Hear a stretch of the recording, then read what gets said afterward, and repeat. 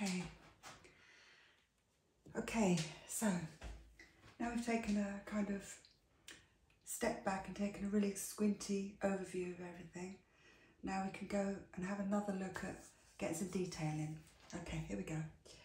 So, um, just a little bit before we started and I just had a look at these colours here and they look like they just got a little bit too dark. So just literally these soft uh, marks, just blend the colours up again. Not putting any lines in, it's just blending them up. I put a bit more um, stronger lines here because these these weren't looking quite right so I've got those in a bit bit better now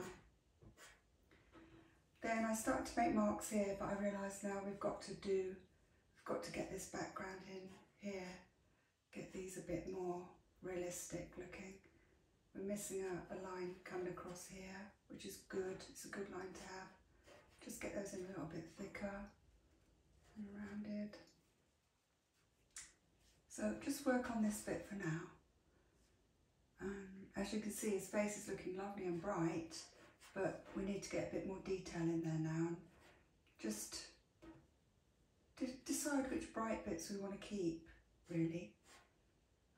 Don't have to keep it all uh, but those the last marks I put in are important because they're they're quite defining and that stick really worked well. I'm really pleased with that. And when we add the cream now and the light orange it'll look it'll look good. Okay so we need to get a bit more lightness in there. Just still trying to take an overview here rather than look at too much detail. Just you know trying to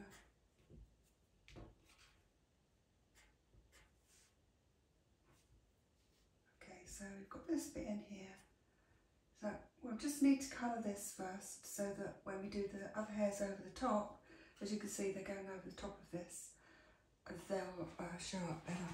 So we just need our orange, oranges, got the two oranges here, these two, these two here. So I'm just looking at the colour, it's kind of quite red, so we'll put the orange, the dark orange on first. Just smooth it on very gently, just very gently. And there, I've got the little arm that's coming across there. And we've got some lines coming through here.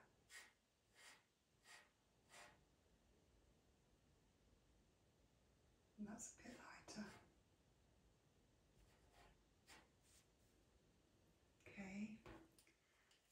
Then uh, this is light up here bit thicker up here.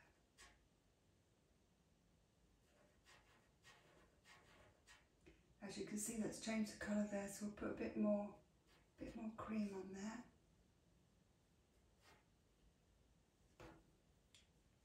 Which is there.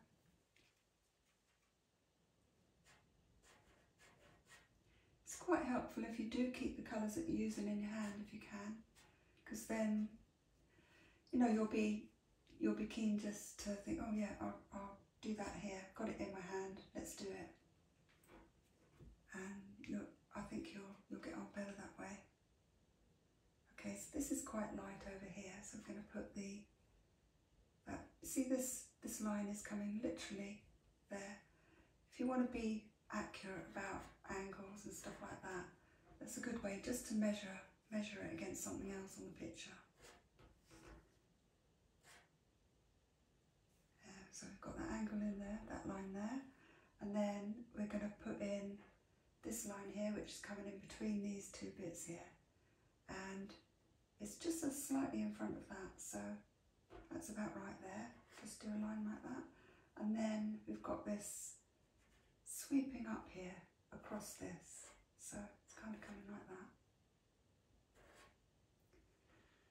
And it, it is kind of, oh, sort of and bitty looking behind there. And just do that there. And these are all, they're going to be in orange, these through here. Maybe a touch of something over here. We'll, we'll see. We'll see how that goes. So we'll just make these a little bit more orangey, very gently. Don't want them too orange. We don't want them too red. We don't want them too green. So again, it's, it's using that mixture there that needs to be a bit thicker. As you can see, it's like a, a, a tuft of stuff coming across like that. Still put black lines through there to separate those hairs if you wanted to. In fact, I'll show you how to do that in a sec. Just need to make this a little bit more, it's a bit yellow looking. You can see how just using these three colours is going to give you all these options, different shades. Just put that through there. When you get a line that's come like that and it's got a hard edge, you can just soften it with your finger. Like that. And it's still hard just just you know just soften it up a bit. It's quite a light line that there actually isn't it? And then we've got another line coming down here and one coming across here coming from there so they're roughly in the right place But it doesn't, you know, it's not the end of the world if they're not. They're quite red.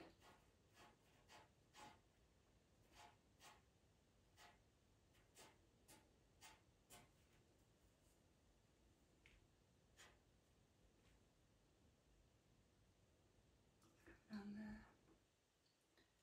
Now we've got some, it's a bit red.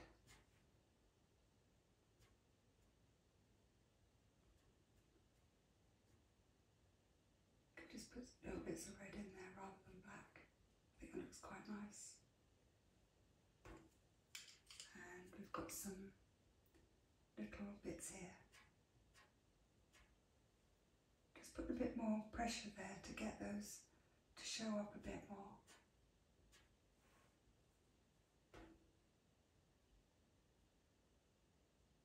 Okay. Okay. Let's just try with red and see see how much they show up here. Some coming across there. Yeah, they don't quite show up enough, I don't think. So we'll use the cream again.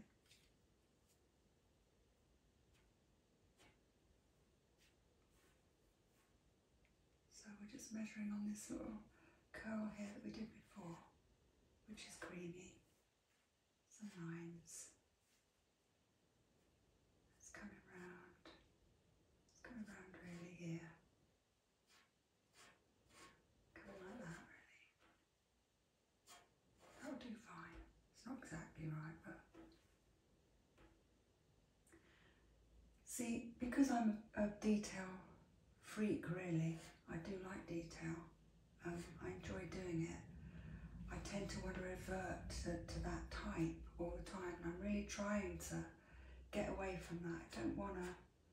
I don't want to be doing detail all the time um, because you know I want to show you how to do it in an easier way and more fun way. And as soon as you start going and looking at details, some of you will love it. Other most people won't like it.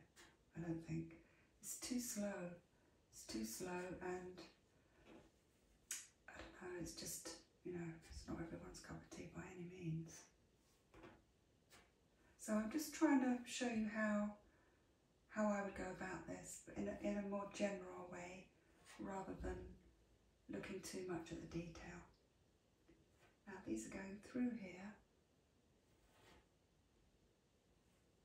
and they're a bit redder. So we'll just go over it with a red pencil just gradually, just slightly just to get that feel there.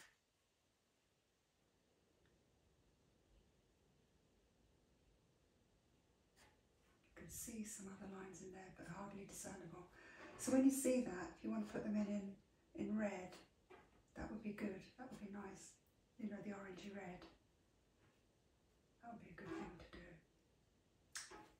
And we've got some little I just want to show you that, see, keep wiping the black off the top of the pencil, but it's not overly sharp. None of them are. But the lighter touch, I know I keep saying it, but the lighter touch will give you nice fine lines. Don't need a, a point on it all the time. What I did notice when I was sharpening my pencils yesterday, and um, it would be interesting for you to know, that when I, because um, I haven't used these um, Stabilo pencils very much at all, um, when I sharpen them in my, my way where I put them just down, straight down on the surface, I've actually I've got a video that you can go and have a look at to show you how I sharpen my pencils. I actually put them right down on the surface and then go like like this with my pencil so it's right on the surface like that. Um, they kept breaking. One of them kept breaking. It was the the really dark pinky red 325. In the end I had to put it in the pencil sharpener, uh, which I was really surprised at. But some of the colours you see will be softer than others. It's just the way they're made up. So I thought that was interesting to, I was surprised. See, it lost half a pencil there because it just kept breaking. But what I do is if I've got little bits, I keep them because, you know, for little tiny bits or making up powder that you want to um, add to another picture, say, and then put it on with a brush, these little bits are quite handy. So you could keep them if you wanted to. Um, I, I tend to do that, I keep them. I've got a little tub that I keep them in and then just use them like that for some time in the future. Okay, so let's get on with our bits.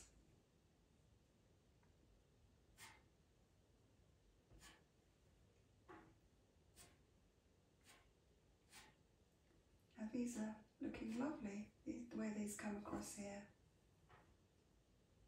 Just getting some of the directions of the hairs, just absolutely lovely if you can find a picture that you like, then all you have to do is copy it. And you know it's going to come out nicely then. Which is, well, really the, the line we're going from is, is up here. Um, I always do a little bit extra, just in case you decide to make the picture a little bit bigger. You've got some there. Otherwise it's a bit of a another salvage job thing. Just soften up those lines so they look like they're coming from, from nowhere or underneath something. Just soften them up a bit. You can even just do that with it if you want to.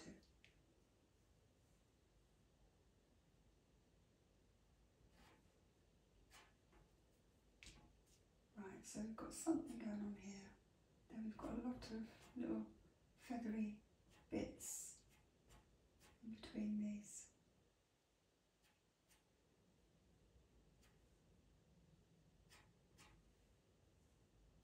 See how fine you can get with a pencil like this. It's just all in the, I just got to get these a bit redder back here. Don't think the orangey colour was quite the right thing there cream and the cream and the pink I needed.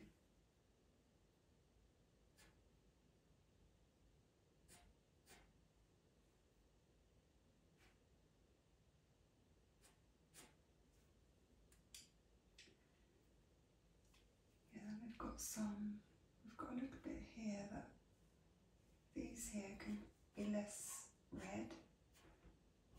Just put some of this over them. These have got lines coming through. Just soften those up a bit.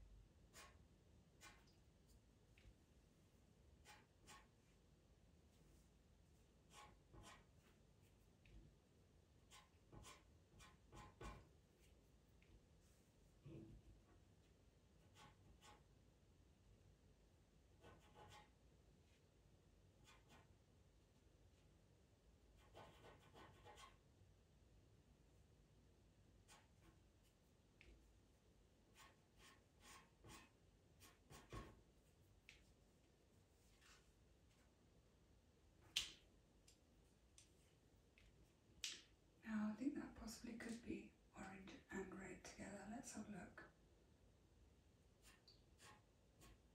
Although we've worked out the colours, we're actually applying these colours on different bases all over here now because we've actually put a bit of base on and that means that they're gonna they're not going to be coming out exactly as we did on our little um, you know test piece to test and make the colours they're they're going to be different all over which in fact will give it a much more realistic look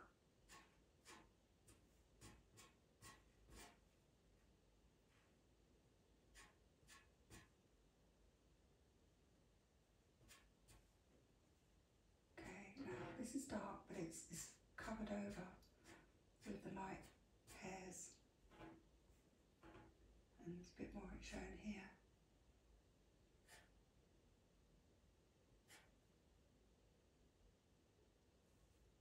Soften that up. That's too bright there.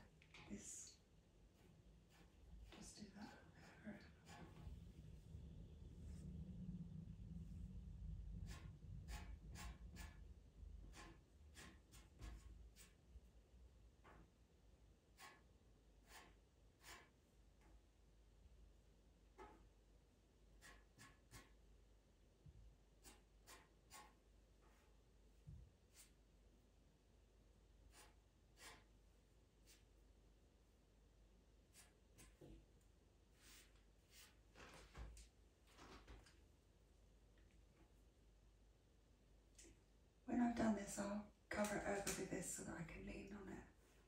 Just thought it would be good to do this now so we get a much better feel for his face. Um, it's nice to get on with this. Right, I'm, I'm going to go from this bit here so I don't get lost.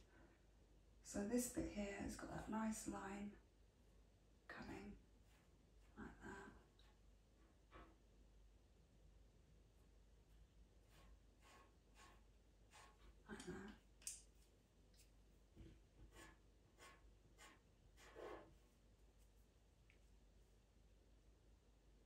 that's darker in there. See that patch here? That's darker. So going straight from this, I'm going to use the that colour there. Blend it in a bit. Might put a bit of black in there maybe.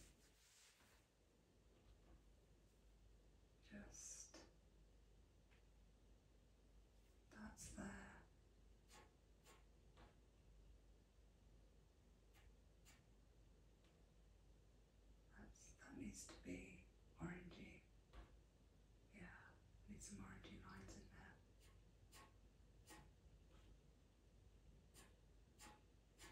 See, we've got another little curl here.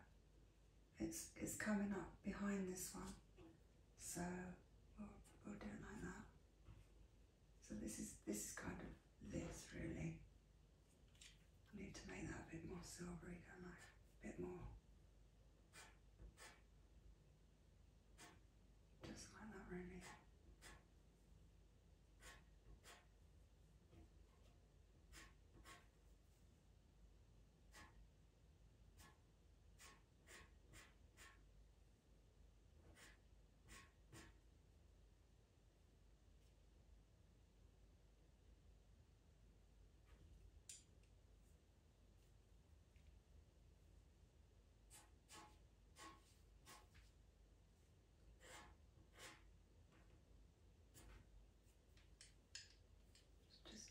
With the orange, I think. Just see it better. See what we're doing there. That's the other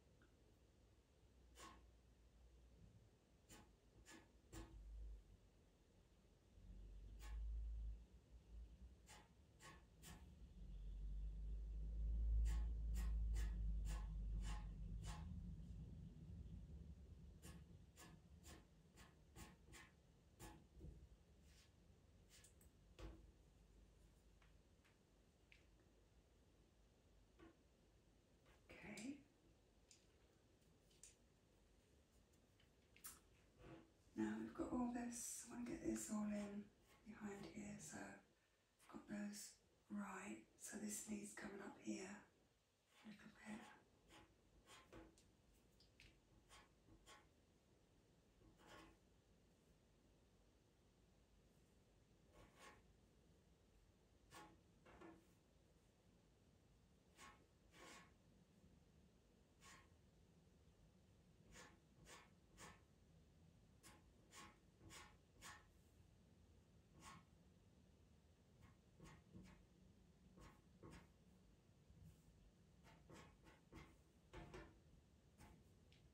And is coming.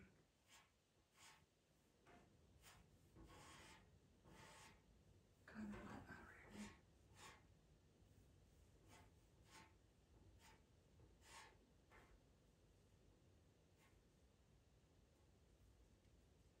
This is, if you come across here.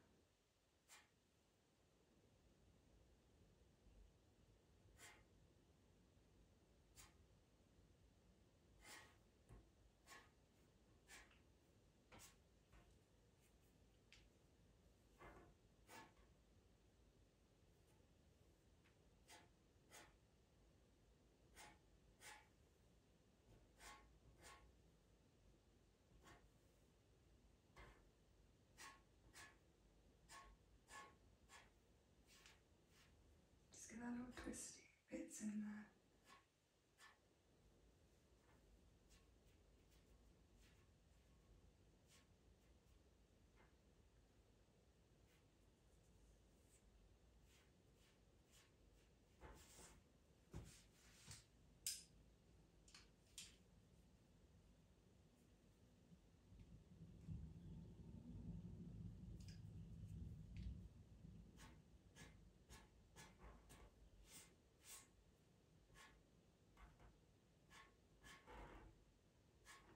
Just getting a bit more gold coming through here.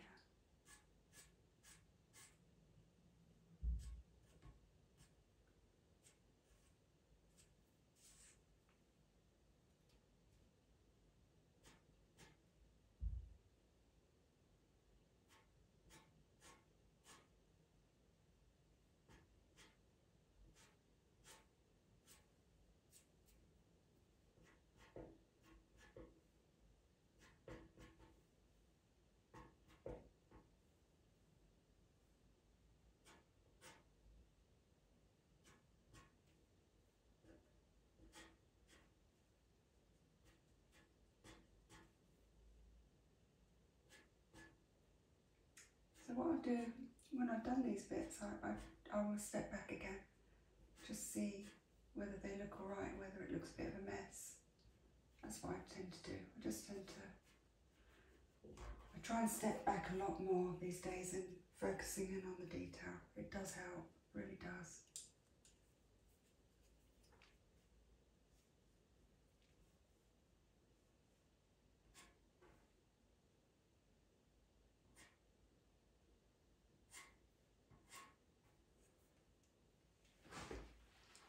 I'm doing that in a bit of white, I think.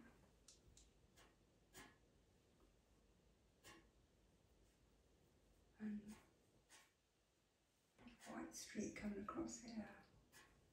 Just little bits of white and silver. Just picks up those little hairs a little bit, not too much, because you know, there's not a lot of light there. It's, they're white hairs, they're, they're coming out grey actually. But because they're over the black, then they'll come out grey anyway.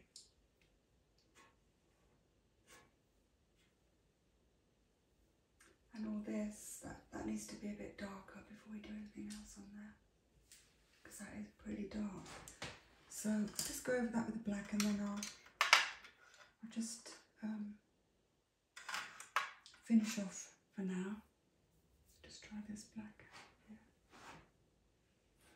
Side of the pencil, just darken it down a bit. Those marks are in the right place. Um, they're doing the right kind of thing, they're just a bit too light. So we don't want to get rid of it all, because we want to use that. There's a little bit there that's quite nice. Pop, it, pop that in a minute.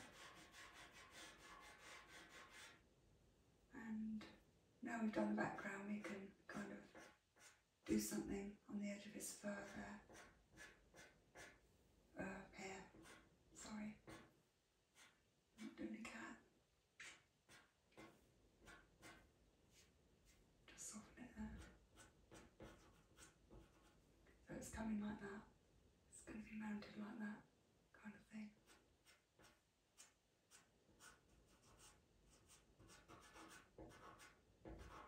You know, this kind of hair that these terrier dogs have is all bitty and licky, isn't it? Over their back.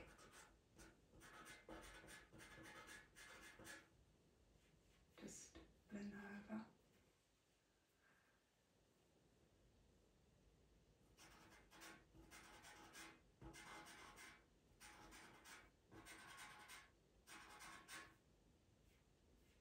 This is a different black, so be slightly different from what I put on before. I'm just trying to get a bit more of a textured look there without going mad putting a mass load of pastel on. You don't need to do that. Um, what was I looking at? Yeah. This there's a nice uh, bit here, kind of coming about there. Measuring it on that little bit there, coming coming down there, and it's like that. Just knock it back then. Just nice. It's quite effective.